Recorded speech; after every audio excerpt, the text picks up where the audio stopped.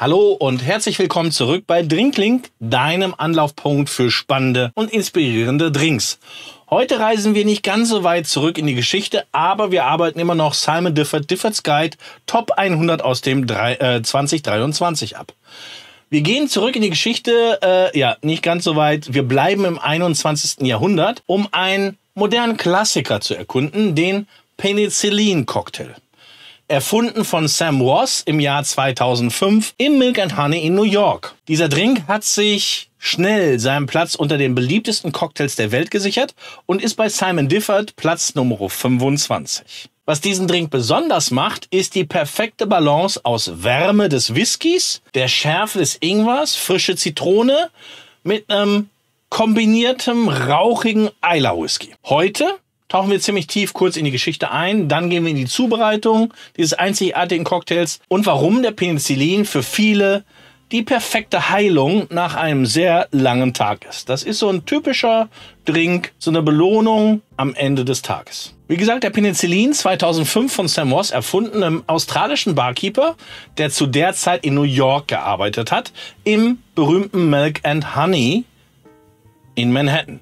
Einem legendären Ort, der für die Wiedergeburt der Barkultur den 2000ern steht. Sam Ross war inspiriert von der Kombination aus Whisky, Zitrone, Honig und Ingwer. Doch was den Penicillin so einzigartig macht, ist der Zusatz von rauchigen Eiler Whisky, der obendrauf gefloatet wird.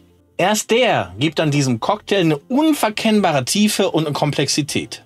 Der Name Penicillin mag witzig klingen, aber wie Ross selber sagt, ist dieser Drink eine wahre Medizin. Vielleicht nicht gegen Krankheiten, aber definitiv gegen schlechte Laune nach einem langen, sehr anstrengenden Arbeitstag. Wir haben hier also eine faszinierende Kombination von sehr kräftigen Aromen, die trotzdem perfekt miteinander harmonieren.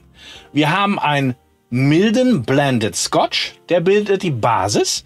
Frischen Zitronensaft, haben wir eine angenehme Säure mit drin. Dann Ingwerlikör, und schließlich noch Honigsirup. Der Clou ist dann der rauchige Eiler Whisky oben drüber. Wir gehen mal durch die Zutaten durch. Das ist einfach. Frischer Zitronensaft. Ein One Honey.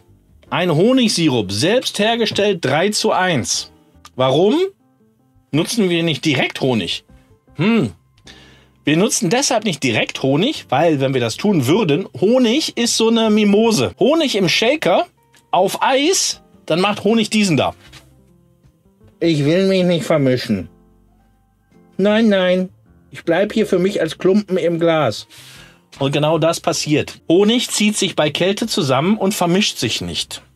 Erst wenn ich das vorher mit Wasser vermenge, um eine gewisse Eiseskälte im wahrsten Sinne des Wortes vom Honig wegzunehmen, erst dann ist er mixbar. Dann haben wir einen Ingwerlikör, den besagten Blended Scotch. Warum der kommt nach der Bewertung und einen Eiler. Und ich nehme jetzt nicht den üblichen Lafroig, das ist ja schon, hm. Ich habe hier einen Magdala Terra. Auch sehr torfig und mindestens genauso torfig wie in Lafroig 10. Das Ganze wird im Shaker hergestellt. Als Gästeglas brauchen wir einen Tumbler.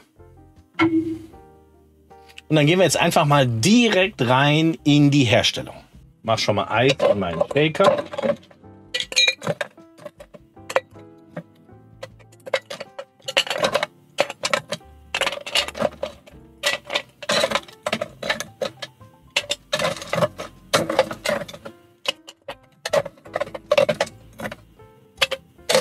Und bis auf den Eiler Whisky mische ich jetzt die vier Zutaten zusammen. Auch hier wieder, damit ihr zugucken könnt von oben, habe ich hier mal das schon mal gekühlt. Hier in der, in dem Becher habe ich jetzt keine Verwässerung, aber ich kühle alle Zutaten schon mal vor, weil Kälte ist sehr essentiell für Drinks. Und wir gehen wieder in rückwärtiger Reihenfolge mit dem viskosesten zuerst und dann hinterher zum Schluss das am wenigsten Viskose. Also demnach, wir fangen mit dem Honigsirup an. 2 Zentiliter.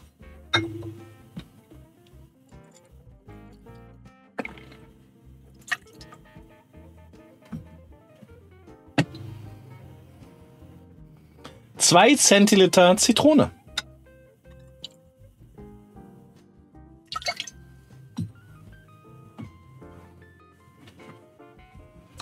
Ingwerlikör.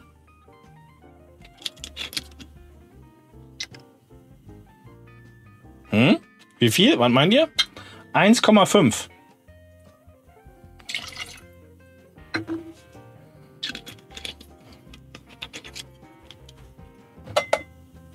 Der Blended Scotch. Die Hauptzutat. 4,5.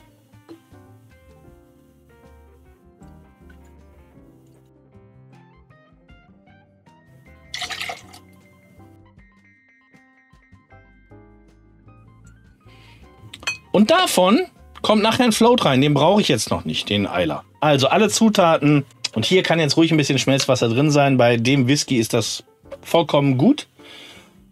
Alle Zutaten hier rein. Shaker zumachen. Das dann nicht in Richtung Technik oder Gast. Also umdrehen und dann legen wir los.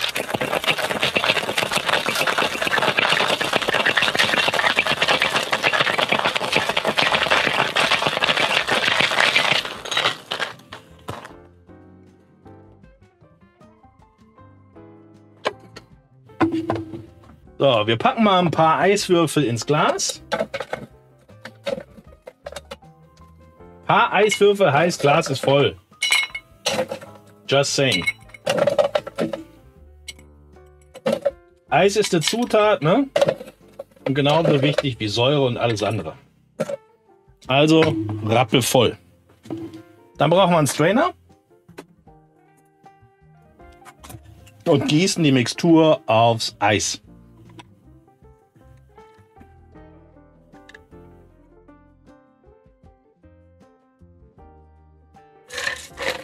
Und jetzt ist hier ziemlich genau noch Platz für ein CL im Glas. Und ich mache jetzt hier mal die Hilfe. Ich nehme jetzt ein CL von, vom echt torfigen. Nehme als Hilfe einen Barlöffel. Drehe den Löffel um. Also hier ist die normale Rührfläche. Drehe den Löffel um und gieße über den Löffelrand direkt oben drauf und floate damit.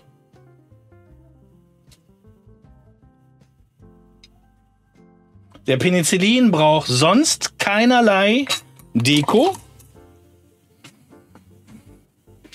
Und damit ist der Penicillin fertig. Wir gehen mal in die Verkostung. Und ja, der Eiswürfel kippt gleich noch um, keine Bange. Der erste Eindruck, Torf. Ohne Ende Torf.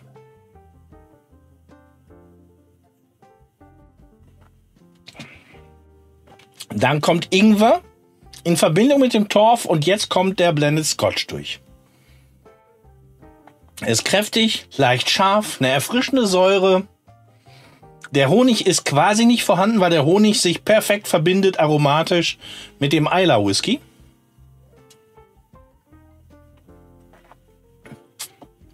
Sehr kräftig, nichts für Anfänger und nichts für Leute, die keine Whisky mögen. Je nachdem, welchen Whisky ich verwende, und da komme ich gleich drauf, kann ich hier natürlich auch nochmal verschiedene Aromen rauszaubern oder reinzaubern. Für mich eine 9 von 10. Mmh. Kommen wir mal zu der Empfehlung der Zutaten. Also, Blended Scotch. Blended Scotch ist eine echte, echte Kunst. Weil der Scotch muss ja immer so geblendet werden, dass die Qualität immer so schmeckt.